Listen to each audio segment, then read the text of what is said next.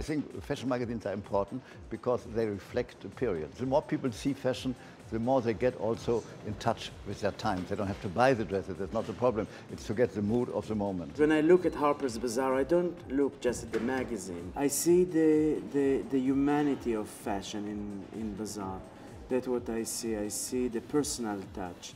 Harper's Bazaar to me is unexpected. Harper's Bazaar is personable. When you going through the magazine, you learn a lot.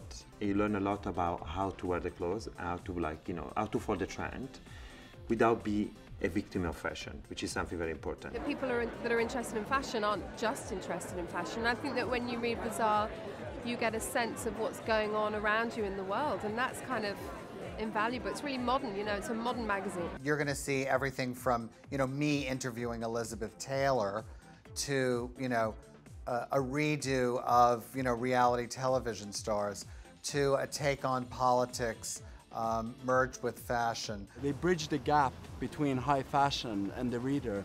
And I think if you, if you talk to customers and clients, you understand how important that is to make them understand and to humanize fashion.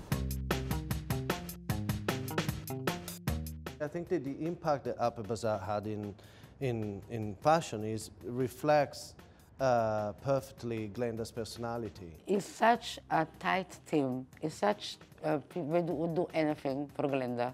And Glenda would do anything for them. So I feel like part of the family. She kind of says it as it is, which is a great quality you know, of a person, but particularly in fashion, everyone's always so concerned about what everyone thinks, and Glenda really has an amazing point of view. I think very few people know that Glenda herself studied fashion, and because of that, she comes from a place of knowledge and also empathy, and she's able to really encourage designers in a meaningful way. She's a very good editor. We are used to each other and we understand each other very well. We don't even have to talk that much because the message goes through immediately. I love the creativity. I love the fact that uh, she's thinking out of the box, that she's always trying to bring a uh, solution and she, she's a thinker. She had 10 ideas of shoot. We're supposed to do one shoot. She has 10 different ideas. All good, all crazy. You know, I have nothing against crazy ideas. Crazy ideas are better than two normal ideas, huh?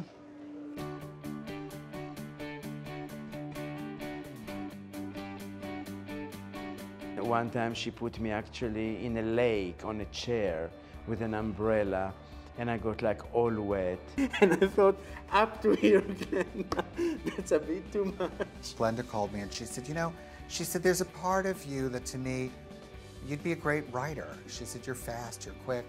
She said, would you write a piece for us for the magazine? She said, how about interviewing Elizabeth Taylor? And you can ask her anything. And then I got to ask her you know, every fashion and style question you could ask Elizabeth Taylor. It was an amazing moment.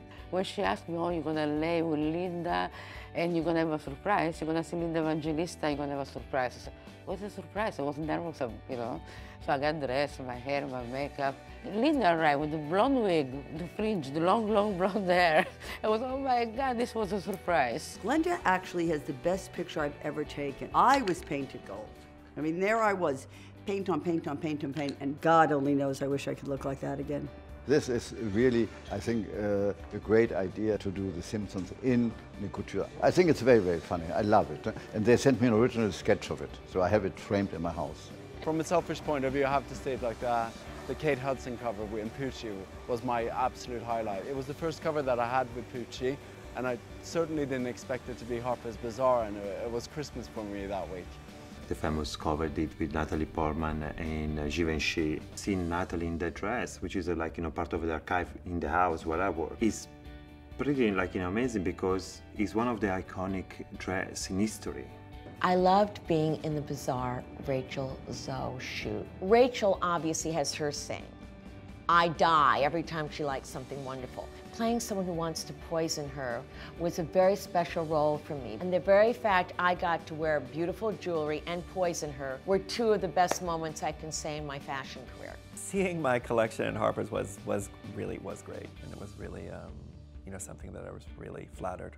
You know, it is a validation and, you know, that it's worthy of being, being included along with all the other great designers that Harper's uh, showcases.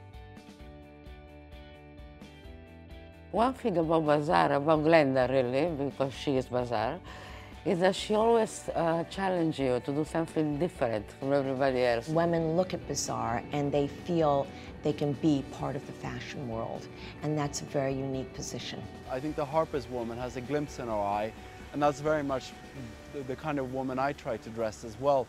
Somebody that, somebody that celebrates fashion, that has style, but also likes life, enjoys life. There's always a sense of humor um, and style combined, and I think that's very distinctly Harper's Bazaar. It has such a broad language, and I think that you really feel that genuine kind of love of life at Bazaar, and I think that Glenda brings so much of that to the magazine. I can't wait to see what's next.